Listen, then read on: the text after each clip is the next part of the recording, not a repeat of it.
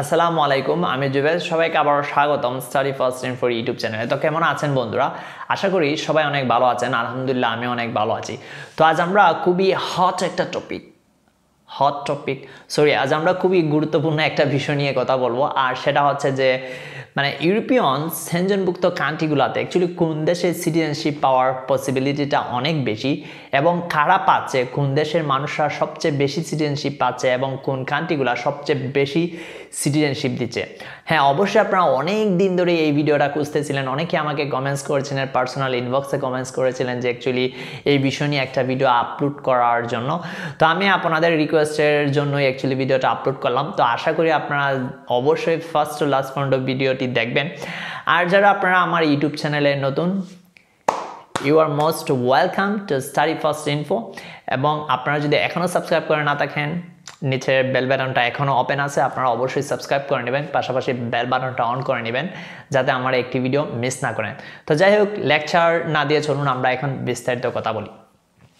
তো good news হচ্ছে এটাই যে টু অনুযায়ী দেখা যায় যে স্ট্যাটিস্টিক ইউরোস্টার স্ট্যাটিস্টিক রেজাল্ট অনুযায়ী প্রায় এইট লাখ এইট লাখ নতুন মানে নিউ কামারদেরকে সিটিজেনশিপ দেওয়া হয়েছে। তো টু থাউজেন্ড সেভেন্টিনে এইট লাখের চেয়েও বেশি যারা সিটিজেনশিপ পাচ্ছেন তারা কারা? হুম, অবশ্যই আমাদেরকে জানতে হবে তারা কারা এবং কোন কোন দেশ থেকে তারা এসেছেন। তো এই বিষয় নিয়ে আমরা কথা বলার আগে চলুন আমরা জেনে আসি তাদের এইজগুলা বিকজ এই যে অনেক একটা ফ্যাক্ট কারণ অনেকে আমাকে ইউটিউবে কমেন্ট করে থাকেন যে আমার বয়স এত, আমার বয়স এত, আমি কি সিটিজেনশিপ পাবো কি না এই বিষয়টা নিয়ে অনেকের কনফিউশন থাকে। তো কনফিউশনটা দূর করার জন্য চলুন আমরা এই বিষয়টা নিয়েও দেখি। তো আমরা যদি লক্ষ্য করি ফার্স্ট অফ অল যাদের বয়স টোয়েন্টি ফাইভ ইয়ার্সের কমে, তো যাদের বয়স ওয়ান থেকে টোয়েন্টি ফাইভ পর্যন্ত তারা সিটিজেনশিপ পেয়েছে প্রায় forty percent oh my god forty percent citizenship পাচ্ছে। এই যে আট লাখ, তার মধ্যে ফোরটি পার্সেন্ট সিটিজেনশিপ পেয়েছে, যাদের বয়স পঁচিশের কমে। এখন আসা যাক, যাদের বয়স পঁচিশের উপরে, তাদের কি অবস্থা? তো স্ট্যাটিস্টিক অনুযায়ী দেখা যায় যাদের বয়স পঁচিশ থেকে চৌচল্লিশ পর্যন্ত, তারাও পেয়েছে ফোরটি পার্সেন্ট সিটিজেনশিপ তো ফোরটি পার্সেন্ট ফোরটি পার্সেন্ট চলে গেল এইট্টি পার্সেন্ট বাকি আছে টোয়েন্টি পার্সেন্ট তো টোয়েন্টি পার্সেন্ট যারা সিটিজেনশিপ পেয়েছেন, তারা হচ্ছেন more than forty five years old তো এই গেল বয়স নিয়ে, তো আশা করি যাদের বয়স নিয়ে অনেক কন্ট্রোভার্সিয়াল কমেন্ট ছিল যে অ্যাকচুয়ালি আমার বয়স বেশি, আমি সিটিজেনশিপ পাবো কি না তো অনেকে বলতে পারেন যে যাদের মানে বয়স ফোরটি ফাইভ তাদের তো মানে পার্সেন্টেজ অনেক কম। অ্যাকচুয়ালি এখানে পার্সেন্টেজ কমটা, এটা ডিপেন্ড করে আপনার কতজন মানুষে কে সিটিজেনশিপ দিয়েছে। তো এটা স্বাভাবিক যারা ইয়াং জেনারেশন তারা অবশ্যই ইউরোপে বেশি মুভ করতেছে না যাদের বয়স ফোর্টি ফাইভ বা ফিফটি তারা অবশ্যই খুবই কম তারা ইউরোপে মুভ করতেছেন। তো সেই তুলনায় যাদের বয়স বেশি, সেই ক্ষেত্রে পার্সেন্টেজটাও অনেক কম। তো এখন যে মূল বিষয়, সেটা হচ্ছে যে কোন কান্ট্রি থেকে কত পার্সেন্ট সিটিজেনশিপ পাচ্ছেন? তো চলুন ফার্স্ট অফ অল আমরা জেনে নেই যে কোন কোন কান্ট্রিগুলো সবচেয়ে বেশি সিটিজেনশিপ দিচ্ছেন। তো নাম্বার ফাইভ যে কান্ট্রি সেটা হচ্ছে সুইডেন। তো সুইডেনে অ্যাপ্রক্সিমেটলি আটষট্টি হাজার নয়শো জন মানুষকে সিটিজেনশিপ দিয়েছে, যেটার পার্সেন্টেজ হচ্ছে প্রায় টোটালের এইট পার্সেন্ট নাম্বার ফোর হচ্ছে ফ্রান্স।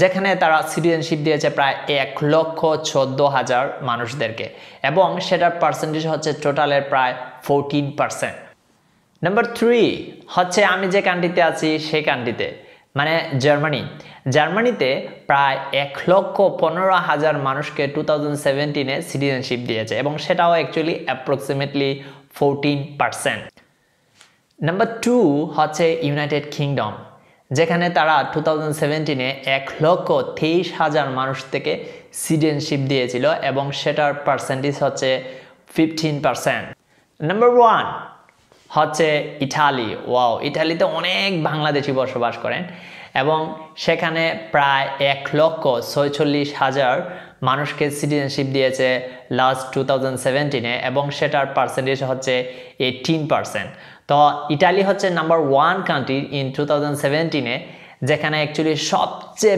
বেশি মানুষদেরকে সিটিজেনশিপ দিয়েছিল ইউরোপিয়ান ইউনিয়নের ভিতরে। তো এখন তো গেল যে কোন কোন কান্ট্রিতে সবচেয়ে বেশি সিটিজেনশিপ দিচ্ছে। বাট আমাদের যে বিষয়টা জানা উচিত যে সেই সৌভাগ্যবান ব্যক্তিরা কারা? অ্যাকচুয়ালি আমরা বাংলাদেশিরা কি সেই তালিকায় পড়তেছি? হোয়াট ডু ইউ থিঙ্ক আপনারা কমেন্ট করে জানান ভিডিওটি শেষ হওয়ার আগ পর্যন্ত যে বাংলাদেশিরা কি সেই তালিকায় পড়বে কি না তো আপনারা কমেন্ট করতে করতে চলুন, আমরা নাম্বার ফাইভ থেকে জেনে নেই যে অ্যাকচুয়ালি নাম্বার ফাইভে কোন সৌভাগ্যবান কান্ট্রিগুলো আছে যে যারা অ্যাকচুয়ালি ইউরোপিয়ান ইউনিয়নের ভিতরে সবচেয়ে বেশি সিটিজেনশিপ পেয়েছেন। নাম্বার ফাইভ হচ্ছে পাকিস্তান। তো পাকিস্তান প্রায় তেইশ হাজার মানুষ বা তেইশ হাজার পাকিস্তানি সেঞ্জনভুক্ত কান্ট্রিতে টু থাউজেন্ড সেভেন্টিনে সিটিজেনশিপ পেয়েছিলেন এবং যেটার পার্সেন্টেজ হচ্ছে প্রায় total two point eight percent number four হচ্ছে তুরস্ক। অ্যাপ্রক্সিমেটলি থার্টি থাউজেন্ড পিপল তার মানে তিরিশ হাজার তুর্কিশ পিপুলরা টু থাউজেন্ড সেভেন্টিনে ইউরোপিয়ান ইউনিয়নে সিটিজেনশিপ পেয়েছেন এবং সেটার পার্সেন্টেজ হচ্ছে প্রায় three point six percent number three হচ্ছে আমাদের এশিয়ান আরেকটি কান্ট্রি এবং সেটা হচ্ছে ইন্ডিয়া তো ইন্ডিয়ানরা প্রায় একত্রিশ হাজার সিটিজেনশিপ পেয়েছেন টু থাউজেন্ড সেভেন্টিনে এবং যেটার পার্সেন্টেজ হচ্ছে three point eight percent number two হচ্ছে আলবানিয়া তো আলবানিয়ানরা প্রায় আটান্ন হাজার মানে আলবানিয়ানরা ইউরোপিয়ান ইউনিয়নের টু থাউজেন্ড সেভেন্টিনে সিটিজেনশিপ পেয়েছেন এবং যেটার পার্সেন্টেজ হচ্ছে প্রায় সেভেন পয়েন্ট এইট পার্সেন্ট এখন কোয়েশ্চেন হচ্ছে, কে হচ্ছে নাম্বার ওয়ান হয়তো অনেকেই গ্যাস করতে পারবেন যে কোন কান্ট্রি হতে পারে নাম্বার ওয়ান আপনারা কমেন্টস করে আমাকে জানিয়ে দিতে পারেন ভিডিওটি দেখার আগ পর্যন্ত যে নাম্বার ওয়ান কান্ট্রিটা কোন কান্ট্রি হতে পারে, যে তারা সারা ইউরোপের সেনজনভুক্ত কান্ট্রিতে মানে টু থাউজেন্ড সেভেন্টিনের সবচেয়ে বেশি সিটিজেনশিপ পেয়েছে। নাম্বার ওয়ান হচ্ছে মারক্কো তো মারক্কো সবচেয়ে বেশি সিটিজেনশিপ পেয়েছে অন্যান্য কান্ট্রির তুলনায় এবং সেটা হচ্ছে প্রায় আষট্টি থাউজেন্ড পিপল তো আষট্টি থাউজেন্ড মারোকান পিপলরা টু থাউজেন্ড সেভেন্টিনের সবচেয়ে বেশি সিটিজেনশিপ পেয়েছেন সেনজনভুক্ত কান্ট্রিতে এবং সেটার পার্সেন্টেজ হচ্ছে এইট পয়েন্ট টু তো আশা করি ভিডিওটি আপনাদের অনেকের অনেক হেল্প করছে, কারণ অনেকে হয়তো জানতে চাচ্ছিলেন যে কোন কান্ট্রিতে সবচেয়ে বেশি সিটিজেনশিপ পাওয়া যায়, বা অনেকের এই বিষয়গুলো নিয়ে অনেক ধরনের কন্ট্রোভার্সিয়াল টপিকও শুনতে দেখা গেছে যে অনেকে বলেন এই কান্ট্রি ভালো, এই কান্ট্রি ভালো, কিন্তু অ্যাকচুয়ালি কেউ বলতে পারেন না যে অ্যাকচুয়ালি কোনটা সঠিক। তো যাই হোক, এটার জন্য আমার মূলত ভিডিওটা আপলোড করা। আর আশা করি এই ভিডিও থেকে আপনারা নিজেদের সিদ্ধান্ত নিতে পারবেন যে অ্যাকচুয়ালি আপনি কোন কান্ট্রিতে মুভ করবেন, বা অ্যাকচুয়ালি এটা বলা যায় না যে এখানে পার্সেন্টেজ যদিও সবচেয়ে বেশি, এক এক কান্ট্রিতে ইটালিতে এখন ইটালিতে আমরা জানি সিটিজেনশিপ পাওয়াটা সো টাফ অ্যাকচুয়ালি প্রায় টেন ইয়ার্স টুয়েলভ ইয়ার্সের মতন প্রয়োজন হয়। জার্মানি তো মোটামুটি ডিফিকাল্ট আর ইউনাইটেড কিংডম এখন অ্যাকচুয়ালি ইউরোপিয়ান সেনজনভুক্ত কান্ট্রি থেকে আলাদা হয়ে যাচ্ছে। তো এটা মোটামুটি একটা ডিফিকাল্ট সিদ্ধান্ত নেওয়ার জন্য। তারপরও আশা করি টু থাউজেন্ড এইটিন এবং টু থাউজেন্ড এইটিনের রেজাল্টটা আমি যখনই পাবো, আমি আপনাদের সাথে শেয়ার করব। তখন হয়তো আপনারা আরেকটু বেটার সিদ্ধান্ত নিতে পারবেন।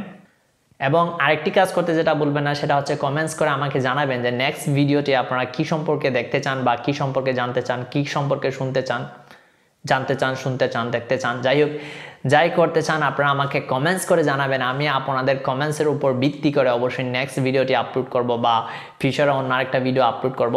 তো সেই পর্যন্ত সবাই ভালো থাকুন, সুস্থ থাকুন, দেখা হবে নেক্সট ভিডিওতে সি ইউ বাই বাই